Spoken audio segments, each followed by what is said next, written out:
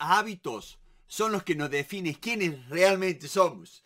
Creemos que somos alguien que realmente no somos y somos los hábitos que hacemos. Esa es la gran verdad.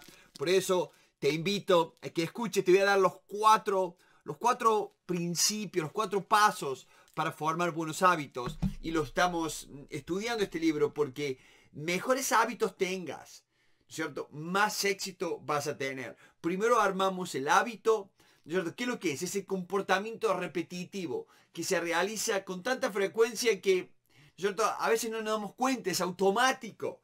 Y el objetivo es minimizar el costo de energía, la utilización de energía, ¿cierto? las calorías nuestras, los utilizamos de tal forma que mejoramos en el rendimiento, lo hacemos mejor, nos damos cuenta, hacemos esto.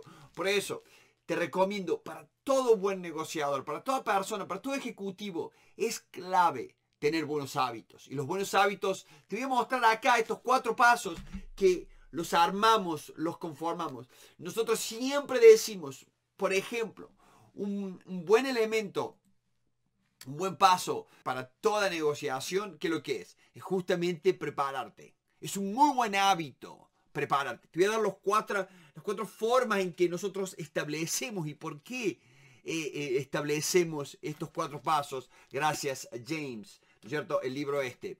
Em, es excelente y lo vamos y hay un video en el masterclass vamos a dar este martes un masterclass así que te invito a que lo veas vamos a verlo de lleno puntos importantes acá es, ¿no es cierto? Es que nosotros los hábitos, si vos me decís de dónde vienen, James nos explica, vienen justamente de que hemos estado observando. Vos has estado observando a alguien en tu familia, has estado este, viendo a alguien poderoso, alguien. Entonces, empezó, base a eso, empezás a copiar, empezás a interactuar por eso, ¿no es cierto? Con eso. Entonces, el, el hecho es que acá, de que si querés ser un buen negociador, si querés mejorar, tu, habilidad como negociador. Y te conviene tratar de copiar la posibilidad de hacer, ¿no es cierto?, tu preparación, hacer la preparación siempre. Estas son 10 preguntas, las puedes bajar acá. Son 10 preguntas que te ayudan en cualquier preparación. Y vos imagínate que el 67% de los ejecutivos no se prepara. Y yo explico, en mi libro, explico muy bien en Nunca temas negociar, que lo podés conseguir en, en Amazon. Explico muy bien ¿Cuáles son las 100 preguntas más importantes? Acá estas que, que ves acá, estas son únicamente 10, pero son claves. Son preguntas que, qué es lo que quieres lograr, todo. Si uno genera ese hábito, ¿cierto? Y, y tenés ese activador de decir, bueno, me tengo que, tengo que negociar, no voy a tener miedo. ¿Cómo hago? La mejor forma es preparándome. Entonces me preparo. Eso es uno de los puntos esenciales de toda negociación. Si uno no se prepara, es, ¿cierto? Si uno no, no va claramente qué es lo que yo quiero, por qué esto es importante, cuáles son los, los, principales objetivos, cuáles son los principales, los secundarios, ¿no es cierto? ¿Qué debo lograr? Si yo no me preparo, si yo no invierto tiempo en esto, lo que pasa siempre es que termino a la deriva, termino aceptando lo que el otro quiere y ahí está mal la negociación debe ser, ¿cierto? Para obtener lo que realmente nosotros queremos, lo que estamos buscando. Entonces te invito a que, que estudies este tema, ¿cierto? Y en, mi libro yo explico cómo, ¿no es cierto? Eh, cuando uno genera un buen hábito, uno tiene distintos pasos. ¿Cierto? El, el, Atomic te da cuatro pasos para generar un hábito. ¿Cuáles son? El primero es descubrir cuál es esa señal que te activa entonces, si yo descubro que necesito negociar, me activa la señal inmediatamente que me tengo que preparar. Me tengo que preparar, tengo que ver, tengo, si, vas más, si ves más videos acá en, en, YouTube, te vas a dar cuenta que hay un montón de pequeños cambios que vos podés hacer para mejorar el resultado. Por ejemplo, contactar gente. Por ejemplo, la preparación. Por ejemplo, em, estudiar cuál es tu Vagna, cuál es, qué, estás dispuesto a dar, qué no estás dispuesto a dar. Esas pequeñas cosas son em, activadores, son activadores que te dan esa señal de que, bueno, me tengo que preparar, ¿qué empiezo a hacer para obtener lo que me merezco? No lo que ellos me quieren dar. Que muchas veces vamos y logramos negociaciones muy malas porque fui y logré lo que el otro quiere darme. Yo lo que te estoy invitando a que estudies, a que analices, a que veas. Porque los mejores negociadores no van a, obtener lo que el otro le quiere dar. Van a obtener lo que ellos quieren. Ese es el objetivo de negociar ir a obtener lo que uno quiere, lo que tu familia necesita, el salario que te mereces, la casa que quieres, el precio que estás dispuesto a pagar y por qué, explicando y vas a llegar. Entonces, para generar estos hábitos, punto número uno, las señales. El segundo es tener ese anhelo, ah, ¿no es cierto? Son los, son los motivadores. El segundo paso, eh, esos, esos anhelos, los motivadores que generan que ser, bueno, bárbaro, yo tengo este motivador. ¿Por qué? Porque yo me estoy preparando porque quiero lograr un cambio, porque quiero mejorar mi negociación, porque voy a mejorar justamente los resultados. Los resultados, ahí lo dice bien claro, los resultados. No te olvides, hay mucha gente que va a negociar para ganar.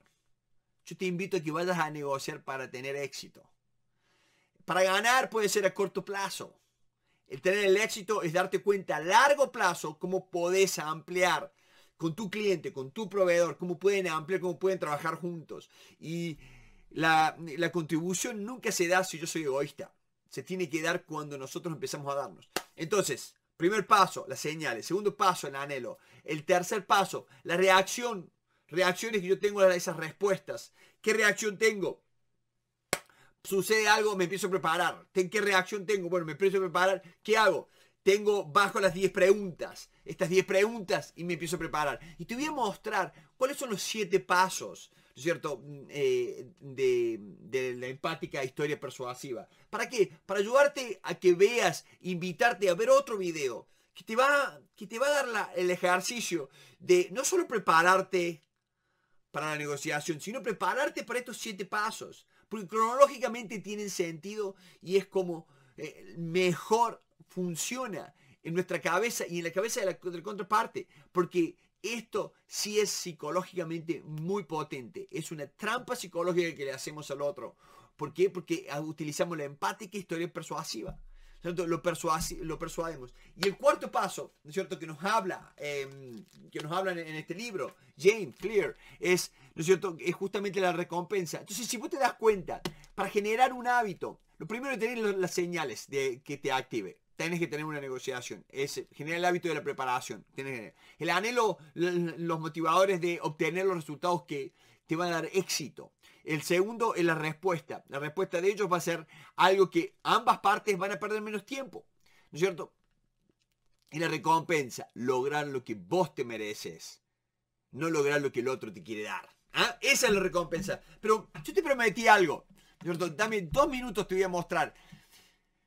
Si no has visto esta, esta página, ¿no es cierto? Está acá, eh, la empática historia persuasiva. Te invito a que, a que la analices conmigo. Muy rápido. Pues fíjate cómo, eh, primero y todo, en una negociación se va a comprender. No se va a que el otro te entienda a vos, se va a que el otro, ¿no es cierto?, a vos entender al otro. Los grandes negociadores hacen ese pequeño cambio la persona novata va a que, a, que el otro lo escuche. No, el, profesional no va a que el otro lo escuche. Va a descubrir la necesidad y el problema. Porque si yo descubro la necesidad, tu necesidad y tu problema, yo te puedo usar. Puedo hacer lo que yo quiera con vos. Entonces, cuidado. Anda a descubrir la necesidad y el problema del otro. Es como si yo juego, juego las cartas, ¿no? Si estamos jugando las cartas. Y en el juego de las cartas, ¿yo qué hago? Yo agarro y te muestro mis cartas. ¿Quién va a ganar? ¿Vas a ganar vos? Entonces, eso es lo mismo. Entonces, paso número uno, comprender. Paso número dos, planear. ¿Qué es lo que estoy planeando? La etapa número dos de la negociación. La propuesta y el pedir. Voy a, planear mi propuesta en base a qué? En base al problema, en base al dolor que vos tenés. Esa va a ser mi propuesta. La propuesta tiene que generarse ahí. Y después voy a pedir.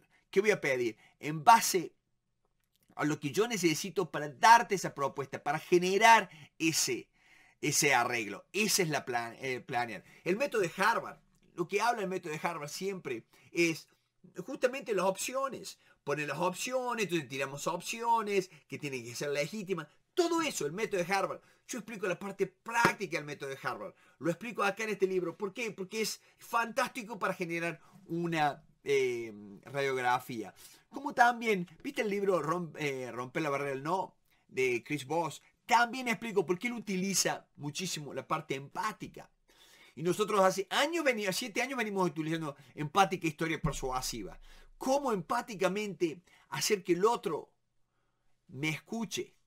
¿No? Por una, una cuestión de que yo puedo activar la reciprocidad en vos si genero eso. Entonces, cuando llegas acá, no es la propuesta y pedir, vas a los tres últimos pasos, cerrar. Siempre. ¿Por qué cerrar es más complicado? ¿Por qué tiene tres pasos? Es clave. Cuando vos cerrás, se puede o no dar el arreglo. Pero cuando vos cerrás bien, se va a dar el arreglo y la implementación. Entonces ahí está la gran diferencia. Por ahí la gente dice, oh, bueno, qué sé yo, no, no, no, no, para un minuto. Cerrar es comparar los resultados. Yo te comparo los resultados. Te muestro qué pasa si no hay arreglo. Si yo no sé, si yo no cierro en el paso 5, te voy a mostrar acá. ¿Qué pasa si no hay arreglo? Te voy a generar los miedos tuyos. Y después voy a escribir tu victoria escribir su victoria, es justamente escribir la victoria de la contraparte, ¿no es cierto? Escribirle para explicarle a mi contraparte, explicarle a mi héroe, porque el héroe es la persona más importante en la negociación, en la película, y es el otro, el otro. Si en mi cabeza yo hago que vos seas la persona más importante, voy a estar muy propenso a escucharte, a entenderte, a comprender, a descubrir el dolor, a descubrir el problema. Y si yo hago eso, es clave para lograr cualquier arreglo. En cuanto yo comprendo cuál es tu dolor, cuál es tu problema, yo tengo la ventaja. La gente cree que la ventaja la tiene el que más habla. Y es totalmente el contrario. Mientras más negociaciones tengas, más te vas a dar cuenta que si te llamas al silencio y escuchas al otro y descubrís, vos le vas a decir al otro qué estás dispuesto a dar a cambio de qué. Pero la gente que no escucha la gente que no practica em, escuchar, entender, em, empáticamente eh, comprender, utilizar historias. ¿Historias para qué? Porque la verdad, las verdades matemáticas y eso te informan. Pero la historia te vende. Y tenés que vender la historia, tenés que persuadir, tenés que ayudar a que el otro diga y quiera lo que vos querés, sin que vos se lo pidas. Ese es el negocio. Vamos ya mismo. Te invito a que veas la empática historia persuasiva. Te invito a que lo veamos ya mismo acá. Empática historia persuasiva que te va a ayudar muchísimo a comprender por qué este método eh, es tan exitoso. ¿Por qué este método? Y lo hemos, hemos eh, eh, impreso primero en... obviamente, hay mucha parte en... pero no el libro cierto? El libro está primero en castellano para todos nuestros hermanos hispanos. Así que vamos ya mismo a ver el video de Empática Historia Persuasiva.